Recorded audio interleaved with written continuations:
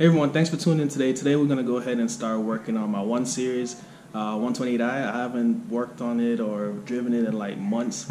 Even today I had to start it and move it from the front of my house and the battery was dead so I had to like uh, put a jump pack on it. But yeah, right now I'm just gonna go ahead and start cleaning it up before I put it in the garage and get started on this project because since this is Florida, uh, when a car's been sitting for so long, uh, anything could be in it and I don't want to bring in like a snake or a frog or whatever else. All right, so I'm gonna go ahead and get it washed right now.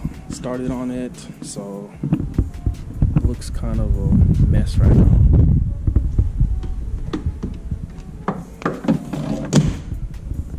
See all the pollen and whatnot, leaves. So, gonna get right at it. So I finished going ahead and cleaning up the car. I didn't do a full wash. I just wanted to get all the pollen and leaves off. And yeah, I didn't want all that stuff sitting on the paint.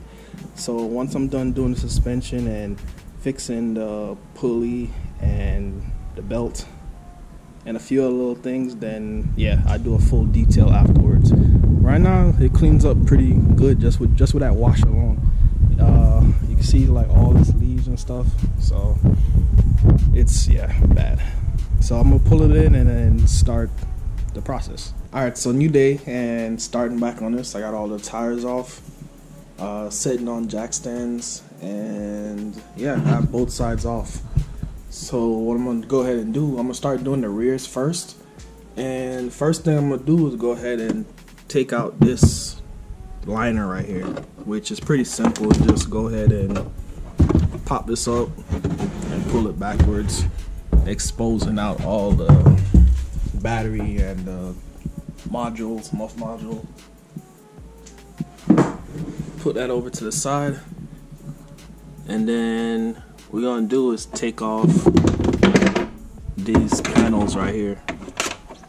So this panel, well, this piece right here, and then pull this out, and then this panel right here. So the way to pull them out is gonna have to use a pry tool. Hopefully you have one, it'll be way easier to pull these like black tabs out. If you look along the whole side, you'll see a bunch of um, black tabs.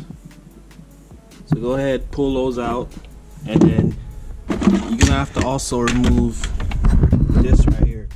You see uh, two screws. The other one's right here. So remove those two screws Alright, so first thing, pop this out. Comes out pretty easily. That just gives you access to the rear tail light for the driver's side. Sticks to the side. And then over on this side, same thing. Let's pop this out. Comes out pretty easy. And yeah, so now I'm gonna go ahead and work on this side and to do that I'm gonna go ahead and pull these tabs out. Alright so I have both sides out, pull them out and there they are right here. So driver side, passenger side and the middle and yeah I left this piece in right here so all I did was like pull it up a little bit and have it come through the edges right here just pull it out the sides but other than that, it's pretty straightforward. So I'm gonna do now is lift this boot. And there you can see the top of the shock tower. Same over here.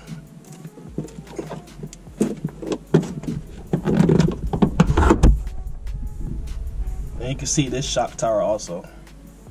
What comes next now is we have to remove the top shock tower and I pretty much hate these on the OEM because you need to use two different tools to get them off. Up here you need to use a 6 socket and down here you need a 16 millimeter open ended wrench or you can use either side but I use this side right here.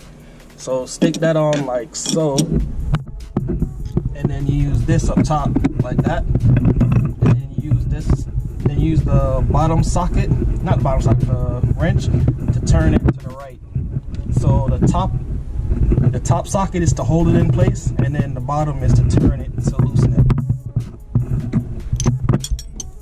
Alright, so I have so I got them all off right now. So this is what it looks like.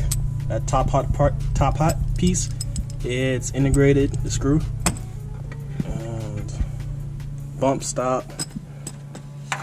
And yeah, that's the top. This part came out as a whole. So like it's like glued in at the bottom between them. So I'm glad that this piece is off right now because generally that top tip part usually breaks off. Uh, on my 335, the top piece broke off on my OEM ones. And the only way I could get it off is I had to cut the shock in two at the bottom and pull it out that way. So uh, I'm gonna go ahead and work at the bottom and get the bottom shock bolts out. So it's only one more bolt left and then these shocks will come out. So I pulled the shock out the hole and I'm gonna use the same six millimeter and put it on top. So this way we hold the whole shock from spinning. And we're gonna use 11 16th socket or 16th and stick it underneath. Just it like right here over here and if you look up here when I turn it, you see this is spinning. I can't see it spinning right here. All right, and you see how it turns. So hence why we need to have that up top to hold it. So I'm gonna hold the top and then turn from down here to remove this bottom bolt. So the bottom bolt is out. You take this off and push this down and lift up. And then here you go, shocks out. So I'm gonna do that on the driver side also. And then I'm gonna do the reverse order of what I did to get the shocks out with the new shocks. And that's that for the rear. So I have the rear down in the tire zone. So the only thing left to do is go ahead and do the front uh, suspension. I went ahead and changed the rotor, the brake pads, all the way around. Um, yeah, so all I gotta do next is just do the shocks right now. But not right now, I'm gonna do that tomorrow because I don't have no, enough time today to do that. There's actually about six bolts that need to be taken off, seven. Uh, once take those off, then everything pops right out. So that's pretty straightforward. Before I'm done for the day, I gotta do the most important thing, and that's use some WD-40. PB Blaster would be better, but I don't have any right now, so go down here and spray it inside the joints and let it sit overnight so that tomorrow, when I loosen all this up, it'll just like, the shock will slide right out of the knuckle right here. So new day, so I'm gonna be starting with taking apart the front suspension. So I already loosened these a bit, but what you're gonna need is a 13 millimeter open-ended wrench or even a socket. So the only reason why I say that is just to get to this one back here. Just use the open side to get it loose. Uh, if you really just want to use a socket, you could just, just loosen this one and move it over to the side and give you access to that bolt. But I just like to use this since it's a little bit more quicker and I don't have less bolts I gotta take off. I'm just gonna leave them just like this, like a few threads on so I don't want the bolts off because when we take it off from the bottom, uh, I don't want it to just fall all the way through. So those will keep it on. All right, so next we're gonna use is a 5 8 and get these uh, end links off. So it runs all the way down from here down to the bottom right here. So there's a screw behind there, we gotta take it off and then screw right over here. But the main thing with these is that it has a bolt right here you have to hold on to. I'm just gonna use a channel lock on these just to take them off. But if you're gonna reuse these, I wouldn't recommend using it. Just use an open-ended wrench that fits in there and hold it in place while I use the socket back here and loosen it.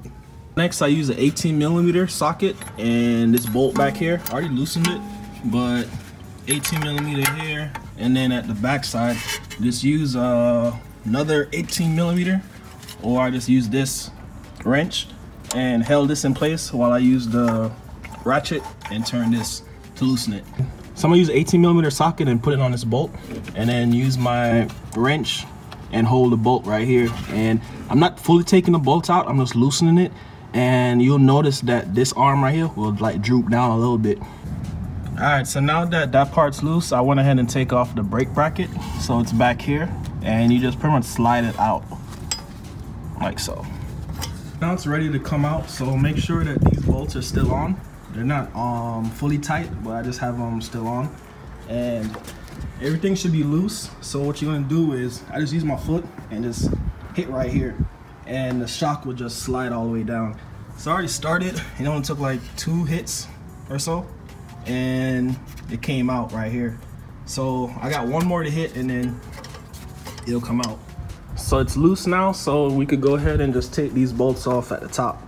And once we remove those, uh, hold the shock, pull it down, and just pull it out, and that's it. So I have the whole shock in now, and brand new male tie rods, uh, new brakes, new rotors, all the way around, and yeah. Pretty much now, we're just gonna put the wheel on and put it back down on the ground, drive it around, and see how it feels. One thing to note with a front suspension is that sometimes you need a spring compressor to compress the springs a little bit so that it gives you enough clearance to pull the whole shock out. So if you don't remove all the some things called the low control arms and all that good stuff, you don't remove those off the hub assembly, then most likely you just need to use a spring compressor. In my case, all I gotta do is use loosen that bolt and generally just falls out. But if it doesn't and I still need more clearance, then I have to remove all those bottom ones. But yeah, cool to have one on standby. You could also rent one from like Advance or O'Reilly. I don't know about O'Reilly. But yeah, I know Advance got it. Alright, so thanks for watching. I'll see y'all in the next one. And most likely the next project I'm gonna be tackling will be my 335. I still gotta do the suspension on that car. So yeah, see y'all in the next one.